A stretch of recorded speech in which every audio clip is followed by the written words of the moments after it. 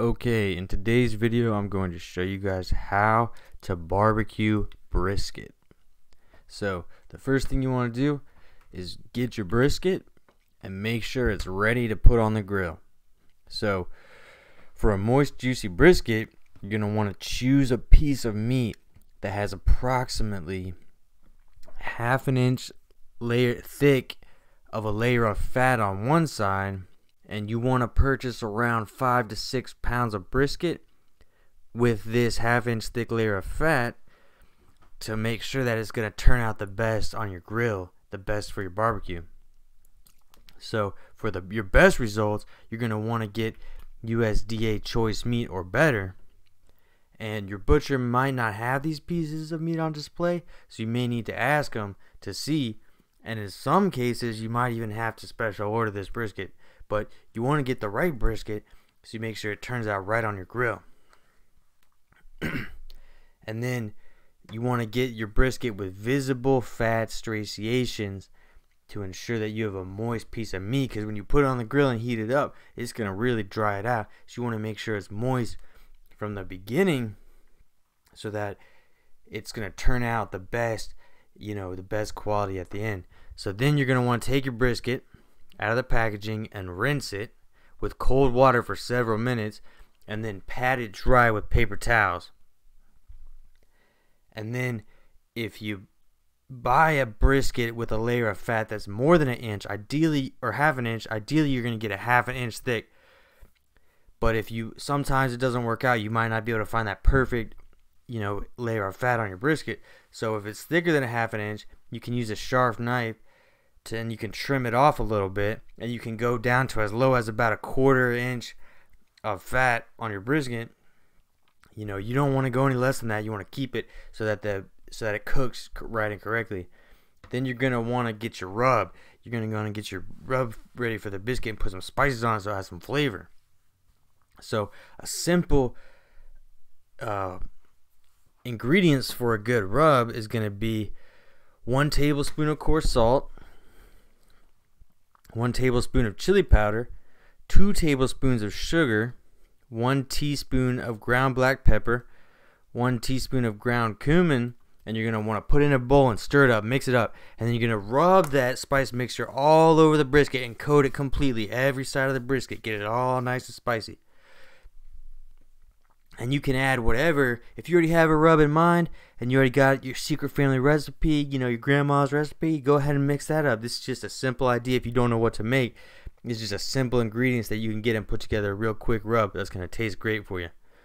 So then you're going to put the brisket, once you got it all nice and coated with your spices, put it in plastic and cure it in the refrigerator.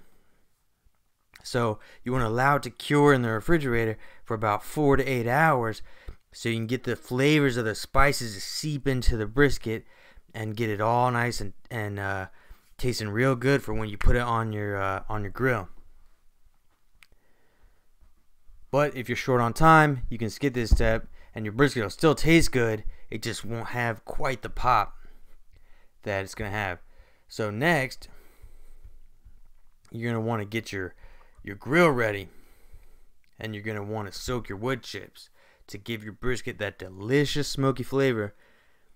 You need you want to put on the barbecue with wood chips. And you want to get 6 cups of hickory or mesquite chips and soak them for about an hour in cold water to cover the wood. When the hour's up, drain the water so they're ready for the grill. You don't want them to, you want to have them in the grill and soak them in water so they don't burn up too fast. And it takes time and slowly releases smoke to get all the flavors seeping into your brisket. Then you're going to want to light your charcoal, get your charcoal ready for your grill. Then you're going to want to place your hot coals in your grill from the charcoal.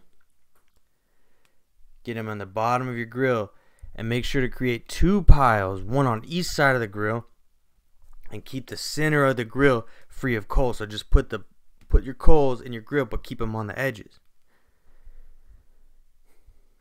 And then what you're gonna want to do is set up your drip pan. So when that space you left, you put your hot coals on your side, set up your drip pan in between the coals, and this is what's gonna this is gonna do is it's gonna catch the fat that's going to cook off your brisket when you drop it because you don't want the fat to go in the charcoal because it's going to catch on fire and shoot up big flames and it might burn and ruin your whole uh, your whole brisket.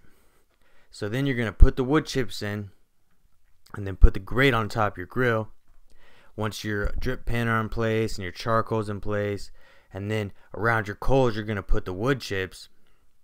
And then the last step is you're going to put your grate over top of everything and get your brisket ready to put on it. So then you're going to get your brisket and put it in a pan. Once you take it out of your refrigerator, take it out of the plastic wrap you've been curing it in your fridge, then you're going to want to set it in an aluminum fan. And then you're going to want to make sure that the fat layer is facing up. Okay, and if you don't have a pan, you might not have a pan, you can use two sheets of heavy duty aluminum foil and put your brisket on top of that. Then you're going to want to set your pan on your grill and barbecue your brisket until it's nice and tender and shreds really easy. And then you're good to go. Take your brisket off the grill, let it rest, let it chill out for a little bit, and then boom, you're ready to cook it and serve it and enjoy some nice, juicy, flavorful seasoned brisket.